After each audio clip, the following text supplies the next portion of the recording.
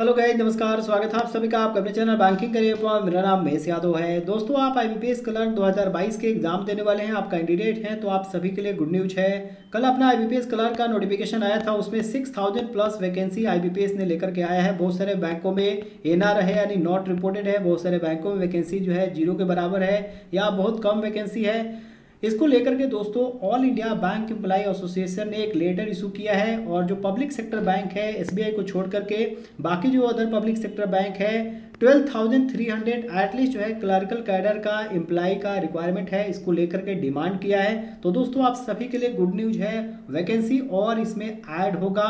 और आप सभी को पता है एवरी ईयर वैकेंसी ऐड होता है। लास्ट ईयर की बात करें तो शुरू में जो है वैकेंसी कम आया था, लेकिन फाइनल जो अलॉटमेंट आई थी, ट्वेल्व थाउज़ेंड प्लस कैंडिडेट का आईबीपीएस ने जो है सिलेक्शन लिया था। इस बार भी जो है, ज़्यादा कैंडिडेट को आईबीपीएस सिलेक्शन देगा। इसमें बहुत सारे इंपॉर्टेंट पॉइंट मेंशन है, इसको एक बार आप पढ़िएगा। बहुत सारे ऐसे बैंक हैं thousands of vacancy remain unfilled बहुत सारे बैंकों में वैकेंसी जो है फिल्ड नहीं है।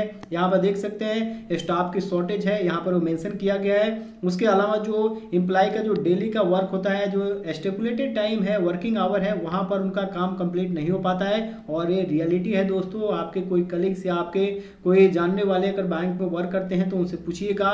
कितना जो है बैंक में वर्क प्रेशर है? बहुत सारे इम्प्लाई जो है, घर पर सात आठ बजे आते हैं। अगर आप मैनेजर बनते हो तो आपको जो है आने का कोई टाइमिंग नहीं होता है। तो इसके लिए बैंकों को और वैकेंसी लेकर के आना चाहिए और स्टाफ को रिक्रूटमेंट करनी चाहिए ताकि जो इम्प्लाई का प्रेशर है वो कम हो और इसी को लेकर के इम्प्लाई एसोसिएशन ऑफ़ इंडिया ने एक लेटर इशू किया है, जो आप सभी के लिए काफ़ी अच्छा न्यूज़ है, आप सभी के लिए गुड न्यूज़ है। मैं आप सभी को ये लेटर अपने टेलीग्राम चैनल पर शेयर कर दिया हूँ, आप जाकर के एक बार पढ़िएगा।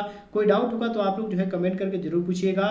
मेरा ऐसा मानना है कि जो अपना फाइनेंशियल ईयर 2024 यानी अभी आपका जो वैकेंसी आई है फाइनेंशियल ईयर 2024 में ज्वाइनिंग होगा।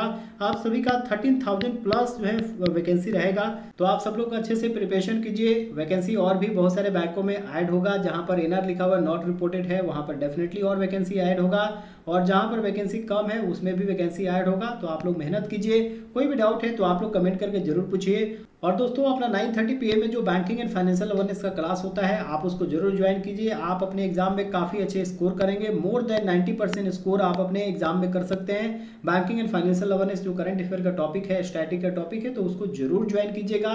डेली यूट्यूब पर नाइन थर्टी में क्लास होता है और मैं बहुत जल्दी आप सभी के लिए अपना ऐप लेकर के आ रहा हूँ, जहाँ से आपकी काफ़ी अच्छी प्रिपरेशन हो जाएगी। एग्ज़ाम में काफ़ी अच्छे स्कोर करेंगे। Thank you so much guys God bless you all